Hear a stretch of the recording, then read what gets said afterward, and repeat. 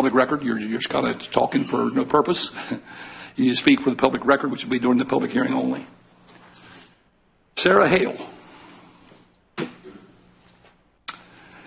you need to turn the microphone on. There's a button you push, okay? And you got three minutes. On top, you have a green light, amber light, and red light, okay? Three, you're talking green, amber's one minute, red is you're done. Great. I don't think I'll need that long. Okay, that's fine. Good afternoon, and thank you for the opportunity to speak today, today to Council. My name is Dr. Sarah Hale. I'm the Chief Operating Officer for the Milford School District and President of the Delaware Association for School Business Officials. I'm here today as an advocate for the implementation of a voluntary school assessment or impact fee program in Sussex County, a program that is in place in both Kent and Newcastle counties currently. Milford School District is unique in that it has territory in both Kent and Sussex counties. We've been fortunate to receive the revenue from the Kent County Impact Fee Program for our area in Kent. This revenue has been instrumental in supporting our major and minor capital projects and offsetting tax increases, allowing Milford to lower its overall tax rate for the past eight years and fully fund our Milford Middle School project with no tax increase, in part from these critical revenues. Our area in Sussex County is rapidly growing, much like our fellow school districts. We've tried for the past two years to seek capital funding for expansion and renovation of our overcrowded Milford High School, with no success. Since 2018, Milford's enrollment has steadily increased between 2 and 3 percent each year. Next year, Milford School District will undergo a major district reconfiguration in our attempt to proactively mitigate the effects of the long-term growth ahead of us approved by this council. I urge each of you to take the time to fully understand the voluntary school assessment and impact fee programs and the positive impacts it can bring for our current taxpayers and residents. Having to increase taxes to our current residents to fund growth that is out of their control is not only unfair, but has proven to be an unsuccessful way of funding school projects, leaving school districts struggling to provide the necessary space for all students. As we move forward, I urge the Council and the voters of this county to consider the county's infrastructure needs, including our schools, before continuing to support further influx of development without the critical revenues needed for sustainability. Thank you so much for your time. Thank you. Jason Hale.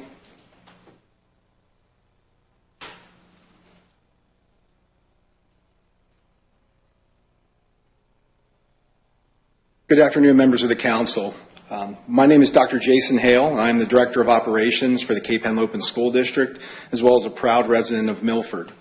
I've worked in school district finance for over 25 years, with over 20 of those years being in Newcastle County, and I can personally attest to the significant positive impact that developer fees such as voluntary school assessments or impact fees have had on managing growth and expansion. These measures have been successfully implemented in both Kent and Newcastle counties, ensuring that the costs associated with development are more equitably shared. Currently, burden of growth is placed solely on the hardworking taxpayers of Sussex County. In Newcastle and Kent counties, these fees help alleviate that burden, enabling school districts and other public services to accommodate the increasing demands that come with growth. However, Sussex County, despite experiencing the most significant growth in the state, remains the only county with such a mechanism not in place. Every day without a fee on developers adds a strain on Sussex County taxpayers. I understand that some express concerns, mistakenly calling these fees a tax, but I want to be clear this is not a tax. It's a way to ensure that developers contribute fairly to the infrastructure and communities they benefit from. Developers profit from our communities and often use school districts like Cape Henlopen to market their homes. This is not just an over 55 area, as evidenced by the considerable growth in schools all around the county. As a licensed certified public accountant, I can confidently say that calling these fees a tax is simply incorrect. The truth is, they would actually help lower the tax burden on our residents by distributing the cost of growth more fairly. Some argue that these fees would increase housing prices, but that only happens if developers choose to pass those fees on to the homeowners. If they do, it shows they are continuing to profit on the backs of our current and future taxpayers. Regardless, it's important to remember that these fees are about fostering balanced, responsible growth that benefits the entire community. Having worked in school finance for many years, I can confidently say that these assessments have had a significant positive impact on other counties, allowing for sustainable development without overwhelming taxpayers. I urge today the county to act now and consider the long-term well-being of Sussex County residents. Let's ensure that our community remains a great place to live by managing growth in a way that supports both taxpayers and responsible development. Thank you for your time. Thank you. Adele Jones? Here.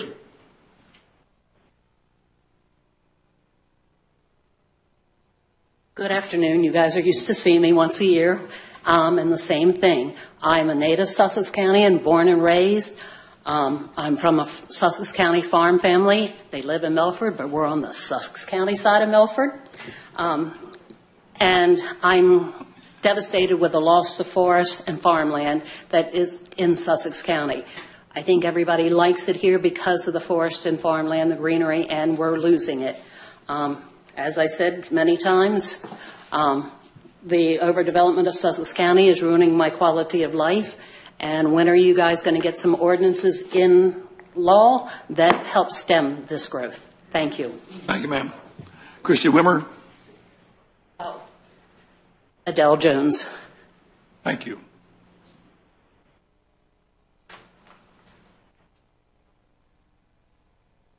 Hello, my name is Christy Wimmer, and I am the president of the Cape Henlopen Education Association. I am here today to speak about the voluntary school assessment, also known as the VSA, and impact fees as well. A voluntary school assessment is a fee paid by residential developers to the Department of Education on behalf of an impacted school district when there is not sufficient capacity in the school district to serve additional students that would result from additional residential development. Upon receipt, the VSA funds are made available to the impacted school district to help pay for construction projects that increase school capacity. VSA funds can be used for school construction activities, which increase school capacity. The funds can also be used for minor capital projects. If the VSA had been implemented back in fiscal year 2020, the Cape Henlopen School District could have received up to approximately $62 million that could have been used to offset the cost of new construction buildings and additions to existing buildings to accommodate the growth in student population. Councilman Mark Schaeffer has stated that the VSA mostly affects low and middle income families. He stated, people that are trying to get into a $200,000 house to buy into the American dream are going to be prohibited. This statement is inherently false because the VSA fee is only on new construction homes, and the last time I checked Zillow, there are no longer any $200,000 new construction homes being built in Sussex County, not even on the western side. Councilman Mark Schaeffer also stated, I will tell you, the way that this tax is structured in the Cape Henlopen School District with the new school that was recently built by my on the back of the napkin calculations is that this tax will be about 17,000 to $18,000 per house. Now, if you're a young person, whether you're a professional or service worker, and you're trying to get into homeownership, I don't know where you're going to get that kind of money. This statement is also false because the VSA is not a tax. The VSA is a fee, which would only be paid by developers, that does not have to be passed on to the home buyer. If you choose to buy a house that is already built, you would pay no VSA. Referendums to pay for new school, school construction are a tax, a tax that all residents pay, regardless of whether you buy a new construction house or own an already established house. Because of the lack of action by the County Council and the VSA, school districts must rely on the passage of referendums to build new schools. Cape Henlopen is in desperate need of expanding the high school to accommodate new growth in our area. However, Cape Henlopen has struggled to pass a referendum on two separate occasions. I invite all county council members to visit Cape Henlopen High School and see how students are sitting on classroom floors and windowsills because there are not enough desks or chairs to accommodate all the students. I invite you to see how large the class sizes are because there's no space to lower the class sizes. I invite you to spend some time in the hallways during class change to see how crowded it is and how log jammed it gets. Your time is up. Thank you.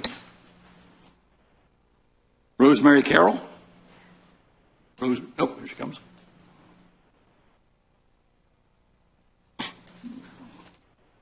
Good afternoon. Um, I, I wanted to talk about the rental tax. So is that off the, okay. Yeah, we- we- Next. There'll be, Next time. there will be a public hearing. You need to either come to the public hearing and te- and testify then, ma- mail in your comments, Okay. Or you can call in that day of, so you got three ways. Thank you so much. Tom Morse?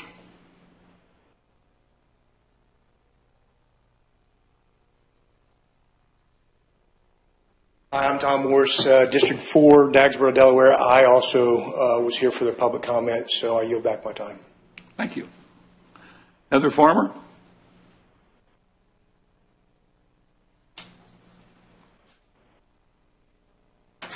Hello, my name is Heather Farmer, and I am a special education teacher at Cape Henlopen School District and also a parent of um, students for the um, Sussex Central. I'm here about the voluntary um, school assessment. These fees are supposed to be paid by developers to the Department of Education to help pay for school construction projects that are needed to increase school capacity due to our ever expanding community. Kent and Newcastle counties do collect these fees. Sussex County is the only one that doesn't. You, Sussex County legislature has the ability and duty to collect these fees, but for some reason, it has been voted not to collect these fees. Because of this, Sussex County school districts have lost out on approximately $100 million. You've heard several people speak about the VSA.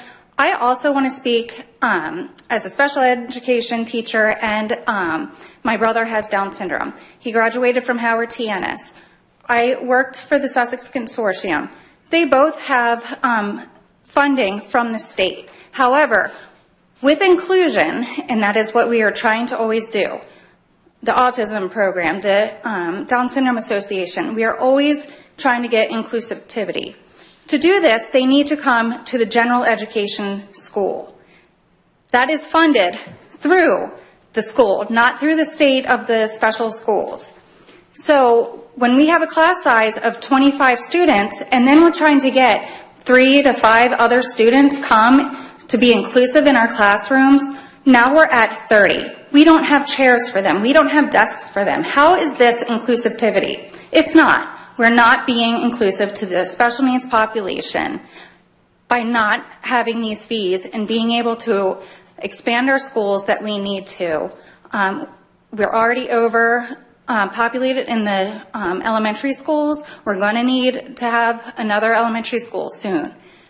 It's not fair for the special ed population to be in these classrooms with so many students where they're not getting what they need because of overstimulation, overcrowdedness. So when we think about these impact fees, don't just think about, oh, those, you know, classroom teachers should be able to handle 30 some students. It's just not fair to the teachers, to any of the students, especially our special ed population. Thank you. Thank you. Operator, would you check online, please, for anybody for public comment? If there's anyone on the